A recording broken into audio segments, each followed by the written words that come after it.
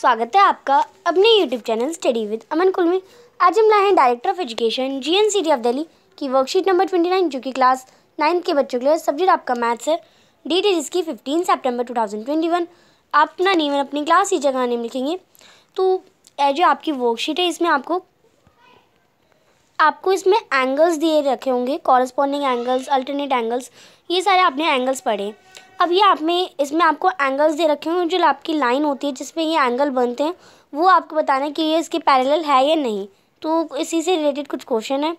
Children let us solve the question given below तो इन questions को कुछ थोड़ा सॉल्व करते हैं हम। एक क्वेश्चन दे रखा है if a transversal intersect two lines यानी बता नहीं रखा कौन, दो लाइन पैरेलल है या नहीं, क्योंकि हमारी जो, हमें वही निकालना है कि वो प्रूव करना है। दो लाइन एक एक लाइन को इंटरसेक्ट करती है ट्रांसवर्सल इंटरसेक्ट करती है। Such that bisector of pair of corresponding angles are parallel और जो उसके जो कॉरस्पॉन्डिंग एंगल है, वो उससे ऐसे बाइसेक्ट हो रहे हैं, जैसे यहाँ पे एक एंगल बना। उसे ऐसे एक बाइसेक्ट करा जा रहा है, जिससे वो पैरेलल हो दूसरे वाले से। That prove that two lines are parallel आपको प्रूव करना है टू लाइन्स पैरेलल है। तो ये हमारा जो फॉर्म हो रहा है, इसमें आप देखिए, ये जो हमने लाइन बनाई ये इतना हमने बता दिया। अब इसमें ये जो हमारे एंगल बने, एक हमारा ये एंगल बना, एक हमारा ये एंगल बना। अब ये जो हमारा इस पर एक बाइसेक्ट हुआ, एक इस पर बाइसेक्ट हुआ। अब ये जो हमारी लाइन हुई, इसे हमने बी ई मान लिया और इसे हमने सी जी मान लिया। अब जो हमारा बी ई है, वो सी जी के पैरेलल है। तो ये हमें बता रखा है तो आपको बताना है, ये जो line A A P Q है और वो आर एस है, वो हमारी पैरेलल है एक दूसरे के नहीं? तो हम इसे कैसे करेंगे? आप इसे देखेंगे, आपको फिगर वन में जो ट्रांसवर्सल ए डी दे रखी है। ये देखिए two lines P Q and R S दो लाइंस पी क्यू और आर एस दे रखी है, जिसमें जो बी सी है, यहाँ पे आप देखिए बी सी हमारी है बी और सी रिस्पेक्टिवली यानी बी और सी पॉइंट पे दो लाइंस हमें दे रखी है।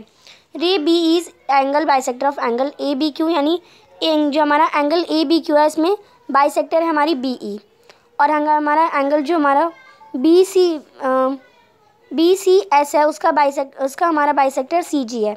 ये हमें इतना बता रखा है अब हमें ये पता है, ये जो हमारा बी ई है, वो हमारा सी जी के पैरेलल है। यहाँ पे पैरेलल का तो हमें प्रूव करना है कि हमारा पी क्यू आर एस के पैरेलल है या नहीं। तो यहाँ पे आप देखेंगे B E is an angle of B E हमारा पाई सेक्टर है इसका। तो जो हमारा ए बी क्यू होगा, यानी A B Q A B Q अगर हम इसे ले लें तो ये हमारा दो एंगल बना रहा है। जैसे अगर हम ए बी क्यू ले लें एंगल हमारा ए बी क्यू इक्वल में हम देखें अब ए बी क्यू में आप देखेंगे, जो बाइसेक्टर होते हैं तो दोनों एंगल्स जो होते हैं, वो इक्वल होते हैं। तो हमारा जो एंगल वन है, वो एंगल टू के इक्वल है। अब एंगल टू को हम एंगल वन भी तो लिख सकते हैं, क्योंकि वो दोनों तो इक्वल हैं। एंगल वन एंगल वन के इक्वल यानी एंगल टू को हम एंगल वन भी लिख सकते हैं। तो ये हमारे दो एंगल वन हो गया, यानी टू एंगल वन हो गया। सिमिलरली जी सी जी में भी ऐसे ही है हमारा। जो हमारा थ्री है, वो एंगल फोर के इक्वल है। तो हमने एंगल थ्री को दो बार लिख लिया एंगल थ्री को हमने दो बार लिख लिया। तो ये हमारा टू एंगल थ्री हो गया। अब सी जी जो हमारा बी ई और सी जी है, जो ये हमारा बी ई और सी जी है, वो आपको पता है पैरेलल है और ए टी से ट्रांसवर्सल है। तो हम देख सकते हैं। हमने कहा था ये दोनों हमारा हमारा जो एंगल वन है और ये हमारा एंगल वन और ये हमारा एंगल थ्री ये हमारा इसके ऊपर ये पैरेलल लाइन बन रही है और ये हमारी ट्रांसवर्सल है। तो ये और ये वाला एंगल हमारा इक्वल होगा। तो कॉरस्पॉन्डिंग एंगल एक्सूम तो हम इसमें देख सकते हैं जो हमारा टू एंगल वन बनेगा और हमारा जो टू एंगल थ्री बनेगा, वो दोनों भी एक दूसरे इक्वल इक्वल होंगे, यानी ए बी क्यू भी हमारा बी सी एस के इक्वल होगा। ये हमारा इक्वल हो गया। तो ये कॉरस्पॉन्डिंग एंगल बना रहे हैं, ये इसके पैरेलल है तो ये हमारे कॉरस्पॉन्डिंग एंगल बना रहे हैं। तो A D P Q and R S as these corresponding angles are equal before यानी पी अगर हमारे ये दोनों एंगल इक्वल हैं तो हमारे जो ये लाइन इक्वल कब बनते हैं? एंगल्स इक्वल कब बनते जब हमारी जो लाइन हो, वो पैरेलल हो। तो P Q R R S जो आर एस के पैरेलल है, ये हमारा conversion of corresponding angle axiom यानी कॉरस्पॉन्डिंग एंगल से हमने इसे निकाल लिया।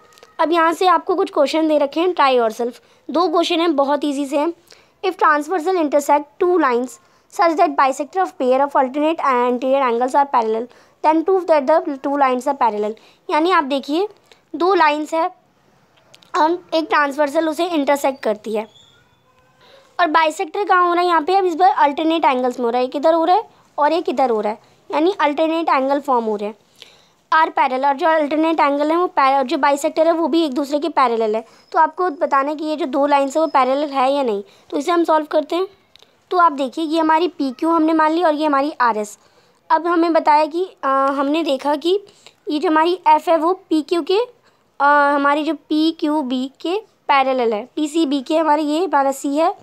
पी सी बी के बाइसेक्टर है हमारी एफ़ हमारे एंगल पी सी बी के हमारे बाइसेक्टर है सी एफ़ और हमारा एंगल सी बी एस के जो हमारा बाइसेक्टर है वो बी ई है। और जो हमारा सी जी है वो सॉरी सी एफ़ है और वो बी ई है। वो भी हमारा पैरेलल है। ये भी हमारा बता रखा है।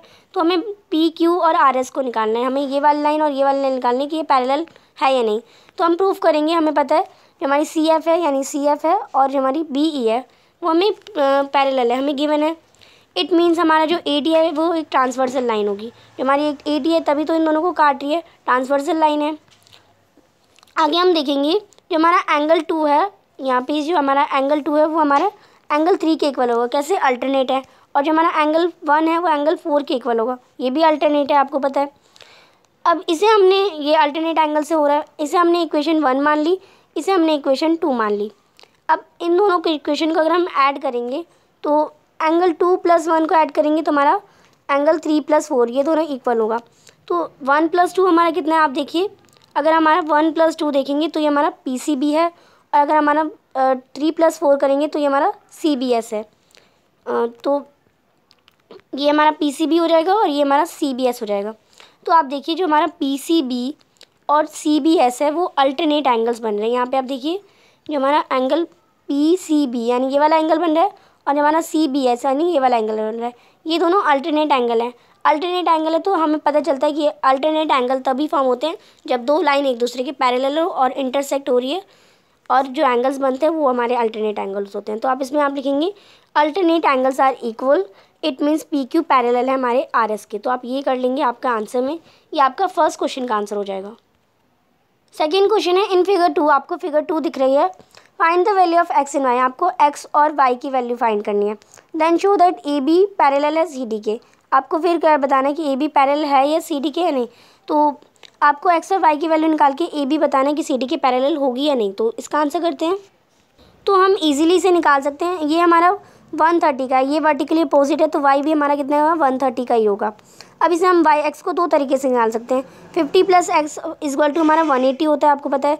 तो वन एटी में से फिफ्टी माइनस करेंगे, तब भी हमारा वन थर्टी आएगा। या हम, तब आपको पता है fifty plus X is equal to हमारा वन एटी होता है। वन एटी में से फिफ्टी माइनस करेंगे तो हमारा वन थर्टी आएगा। तो एक्स इजक्वल टू हमारा वन थर्टी हो गया। अब वाई की ये अल्टरनेट भी है, तब भी हमारा वन थर्टी, यानी एक्स और वाई दोनों की वैल्यू हमारी वन थर्टी ही आएगी। अब इसे हम देखते हैं ए बी सी डी के पैरेलल कैसे है। वो देखते हैं हम। आप देखिए जो हमारा X plus fifty is equal to one eighty तो हमारी एक्स की वैल्यू तो वन थर्टी आ गई लीनियर पेयर से। वाई की वैल्यू हमारी वन थर्टी आ गई वर्टिकली अपोजिट एंगल से। अब हमें पता है हमारा एक्स भी वन थर्टी है और वाई भी वन थर्टी है तो ये हमारा वन थर्टी वन थर्टी हो जाएगा। तो अल्टरनेट एंगल्स जो हैं वो इक्वल होंगे। तो हमारे जो अल्टरनेट एंगल्स हैं वो इक्वल आ रहे हैं। आपको पता है ये हमारी जो फिगर है, आप देख सकते हैं। इसमें हमारा एक्स भी वन थर्टी है, ये भी वाई भी वन थर्टी है। तो ये भी वन थर्टी है, ये भी वन थर्टी यानी हमें पता है, जो अल्टरनेट एंगल होते हैं, वो हमारे इक्वल होते हैं। तो अकॉर्डिंग टू द थ्योरम हमारा जो ए बी है, वो सी डी के पैरेलल होगा, क्योंकि हमारे जो अल्टरनेट एंगल्स हैं, वो इक्वल होते हैं हमें। और अल्टरनेट एंगल इक्वल तभी होते हैं, जब दो लाइन एक दूसरे के पैरेलल हो। तो ये थी आपकी आज की वर्कशीट आई होप आपको अच्छे से वर्कशीट समझ आ गई होगी। अभी तक आपने मेरे चैनल को सब्सक्राइब नहीं करा है तो प्लीज़ मेरे चैनल को सब्सक्राइब करें। और उसके बाद आने वाले बेल आइकन को प्रेस करें, जिससे आपको हर वीडियोज़ की नोटिफिकेशन टाइम से मिलते रहे। हम आपके लिए इतनी मेहनत करते हैं तो आप एक सब्सक्राइब तो ज़रूर कर सकते हैं। आपके एक सब्सक्राइब से मुझे बहुत खुशी मिलती है। ये वीडियो अच्छी लगी तो इसे लाइक करिए, दोस्तों के साथ शेयर करिए और आपने अभी तक हमारा टेलीग्राम ग्रुप ज्वाइन नहीं किया तो आप इसे ज्वाइन कर सकते हैं। साथ ही आप हमें इंस्टाग्राम पर भी फॉलो कर सकते हैं। Thanks for watching bye bye guys